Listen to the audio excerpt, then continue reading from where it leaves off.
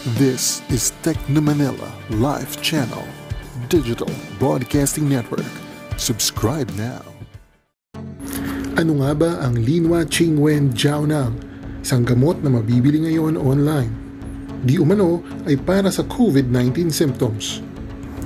Sa kasalukuyan ay itinuturing itong traditional Chinese medicine. Ito ay ginagamit na sa bansang China sa maraming taon and has been widely used for common viral infections such as flu.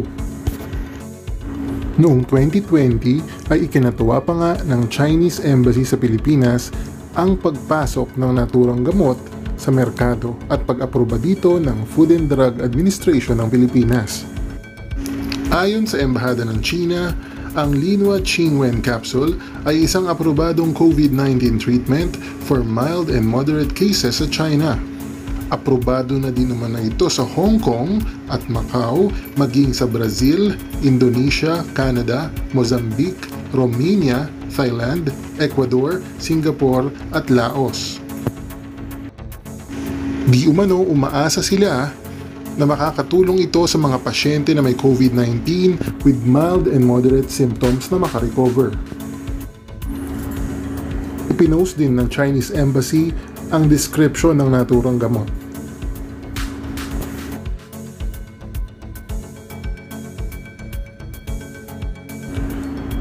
Ngunit nito lamang Abril 2021 ay nagpaliwanag ang Department of Health na di umano ay hindi rehistradong gamot kontra COVID-19 ang naturang kapsula. Ito ang dahilan kung bakit noong una ay ibinan ito ng DOH at ng FDA. Ngunit ngayon ay nakakuha na daw umano ito ng FDA registration noong August 7, 2020. Ngunit bilang isang traditional herbal product that helps remove heat toxin invasion of the lungs including symptoms such as fever, aversion to cold, muscle soreness, stuffy, and runny nose. At kailangan naman o ng doctor's prescription bago makakuha ng naturang gamot. Kasalukuyan ay binibenta online ang mga gamot ngunit wala itong English translation. Maging ang product description sa loob nito ay wala ring English translation. Ipinapayong kumonsulta sa isang doktor para mabigyan ng tamang prescription. Samantala, ipinost din ng Chinese Embassy ang FDA registration ng naturang produkto.